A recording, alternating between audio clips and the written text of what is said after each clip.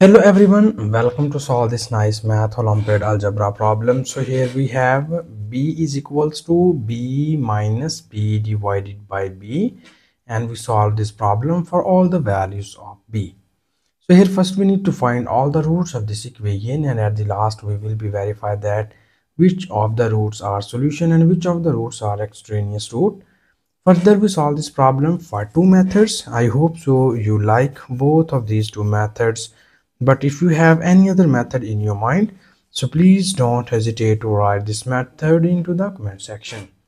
And now we move towards the solution of this problem from first method. And here uh, in first method you see here this b and b are cancelled out by each other and we get the remaining values are b is equals to b minus 1 and here I can first explain the reason why we solve this problem for two methods. Uh, so the reason is that if in your exam, the question statement is that you need to find the roots or you need to find the values of b. So in that case, you need to solve this problem from first method because um, if you see directly in the question statement, you cannot easily get the value of b. So here I can just give you a nice technique in which you can easily get the value of b from first method but if in your exam the question statement is that uh, you need to determine the solution set of the given equation. So in that case you just directly move towards our second method and uh, we directly uh, tells us about the solution set. So here first we need to find the values of b. So for this we need to take squaring on both of the sides. So when we apply squaring it will be written as b square equals to b minus 1 whole square and further in the next step we move this b square to the right hand side and it will be written as b minus 1 whole square.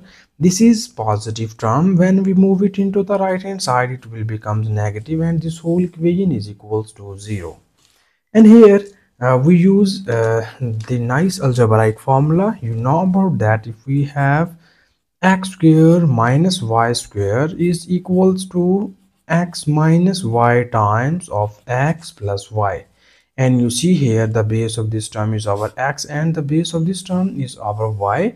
So after applying this formula to the above equation uh, so that our above equation is written as in this form. So first you have x minus y the value of x is b minus 1 minus the value of y is b into x plus y the value of x is b minus 1 plus the value of y is b and this whole equation is equals to 0 and further in the next step we need more simplifications and you see here this is minus b and plus b are cancelled out by each other and we obtain here minus 1 into this is b plus b becomes 2b minus 1 and this whole equation is equals to 0 and here uh, we multiply uh, this minus 2 minus 1 on both of these two terms and it will becomes minus 2b and plus 1 because this is minus times minus becomes plus and this whole equation is equals to 0 and now here further in the next step we move minus 2b to the right hand side and it will be written as 1 is equals to 2b Further, uh, we need to solve this problem for the values of uh, b so that we need to remove these 2 from here. And now we divide both of the sides by 2 in order to find the values of 2 values of b. So now you see here these 2 and 2 are gone and we obtain our b is equals to 1 divided by 2 so this is the value of b which we get here in the first method. So in the next step we need to verify that is this value of b be the solution or is this value of b be the extraneous root? So for verification of this value we need to copy down given question statement here. It is b equals to b minus b divided by b. And here uh, we need to substitute the above value of b on both of the sides and when we put it into the left hand side it will be written as 1 over 2 is equals to when we put it here it will becomes 1 over 2 minus this b and b are gone and here we get only 1 okay?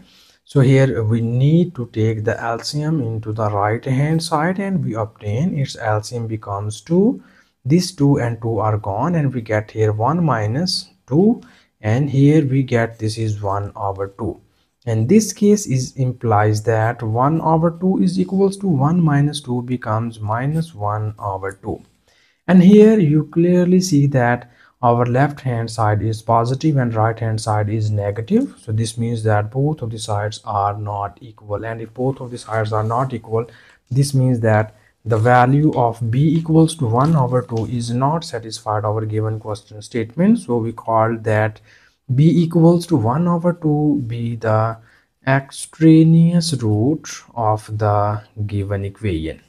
Okay so this is the extraneous root because it does not satisfy our given question statement. And we finally conclude about the solution set of this problem is that this question has no solution. So this is the, our final conclusion of the uh, this problem from first method. And now here uh, we again solve this problem uh, from second method.